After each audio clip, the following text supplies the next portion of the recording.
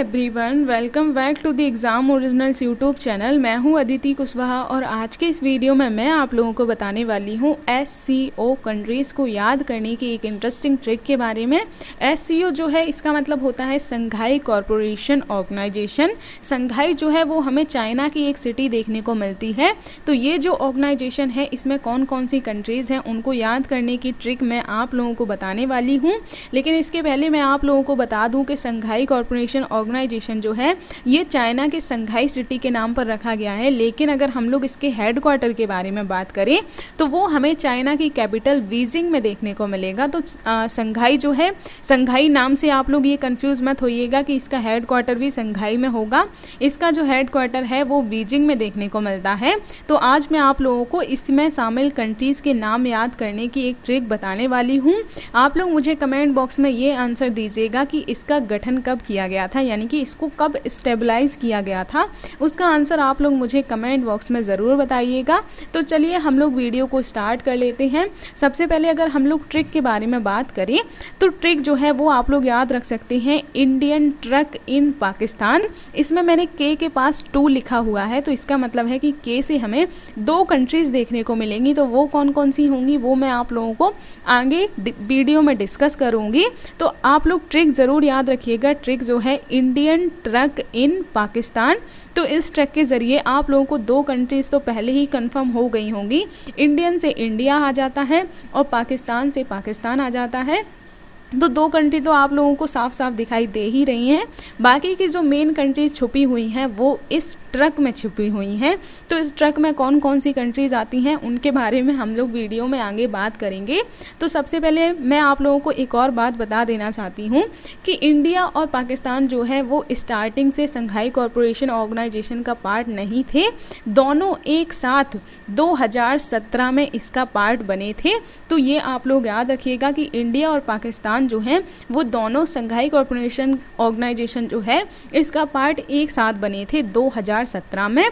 अब आप लोग मुझे कमेंट बॉक्स में ये बताइएगा कि 2017 में इनकी जो सबमिट हो रही थी, जब इंडिया और पाकिस्तान इसका मेंबर बने थे तो वो सबमिट कहाँ पर हुई थी? इसका आंसर आप लोग मुझे कमेंट बॉक्स में ज़रूर दीजिएगा। मैं आप लोगों को इतनी सारी ट्रिक्स बताती हूँ तो मेरा भी ये राइट बनता है कि मैं आप लोगों से क्वेश्चन पूछूँ। तो आप लोग प्लीज़ उन क्वेश्चन के आंसर ज़रूर दिया कीजिए, वरना फिर आगे की वीडियो में मैं आप लोगों को इनके बारे में डिस्कस कर दिया करूँगी। तो अब हम लोग कंट्रीज़ के बारे में बात कर लेते हैं। तो जैसा कि इंडिया से तो आप लोगों को कंफर्म हो ही गया होगा कि इंडिया से हमारी कंट्री यानी कि भारत देखने को मिलता है। उसके बाद फिर हम लोग अब मेन जो कंट्रीज़ हैं, उनके बारे में बात कर लेते हैं। तो ट्रक में कौन कौन सी कंट्री छिपी हुई हैं, हम लोग इनके बारे में अगर बात करें तो टी से हमें ताजिकिस्तान देखने को मिलती है, जो कि एक सेंट्रल एशियन कंट्री है। तो ये आप लोग देख सकते हैं, ये तजाकिस्तान है। इसके बाद आर से हमें रसिया देखने को मिलती है तो आप ये रूस या फिर रसिया को देख सकते हैं तो ये भी इसका मेंबर हमें देखने को मिलता है। उसके बाद फिर यू से हमें उज्बेकिस्तान देखने को मिलता है तो ये भी एक सेंट्रल एशियन कंट्री है जो कि आप लोग यहाँ पर देख सकते हैं। उसके बाद फिर सी से हमें चाइना देखने को मिलता है तो चाइना हमारा पड़ोसी देश भी आप लोग देख सकते हैं।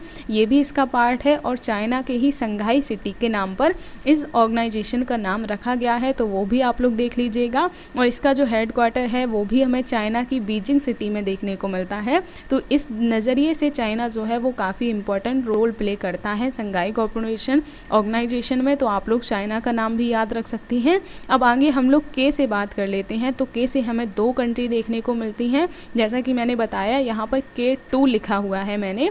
तो ये भी आप लोग याद रखिएगा कि के से हमें दो कंट्री देखने को मिलती हैं। किर्गिस्तान और कजाकिस्तान। तो ये दोनों भी हमें सेंट्रल एशियन कंट्री देखने को मिलती हैं। तो इनके नाम भी आप लोग याद रख सकते हैं। ये किर्गिस्तान है और ये बड़ा सा जो ब्लू कलर में दिख रहा है आप लोगों को, ये हमें कजाकिस्तान देखने को मिलता है। उसके बाद फिर एंड में पाकिस्तान से तो आप लोग पाकिस्तान का नाम याद रख ही सकते हैं। तो ये भी आप लोग याद रख लीजिएगा, इंडिया और पाकिस्तान तो क्लियर दिख ही रहे हैं। बाकी के ट्रक से कौन कौन सी कंट्री मैंने बताई? तो ट्रक से मैंने Tajikistan, Russia, Uzbekistan, China, Kyrgyzstan and Kazakhstan.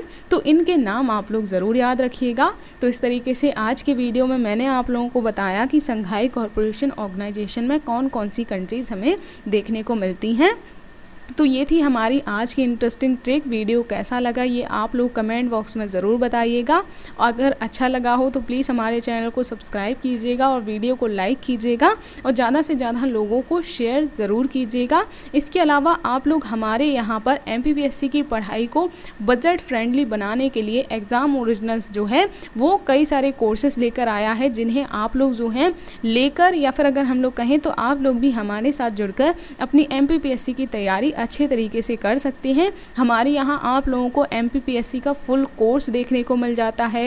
M prelims का कैश कोर्स देखने को मिलता है। एम पी का भी क्रैश कोर्स इसके अलावा प्रीलिम्स और मेंस की टेस्ट सीरीज़ भी देखने को मिलती हैं और एम का फुल स्टडी मटेरियल तो ये सब आप लोगों को हमारे यहाँ पर देखने को मिल जाता है। आप लोग हमारा यूट्यूब चैनल ज्वाइन कर सकते हैं। हमसे व्हाट्सएप पर कॉन्टैक्ट कर सकते हैं। एग्ज़ाम ओरिजिनल्स के नाम से हमारा ऐप भी डाउनलोड कर सकते सकते हैं। इसके अलावा भोपाल में जो हमारी ऑफलाइन क्लासेस हैं, आप लोग वो भी ज्वाइन कर सकते हैं। तो हमारे साथ जुड़कर आप लोग भी अपनी एम की तैयारी अच्छे तरीके से कर सकते हैं। तो वीडियो को मैं यहीं तक रखती हूँ। मिलूँगी अब मैं नेक्स्ट वीडियो में। तब तक के लिए धन्यवाद।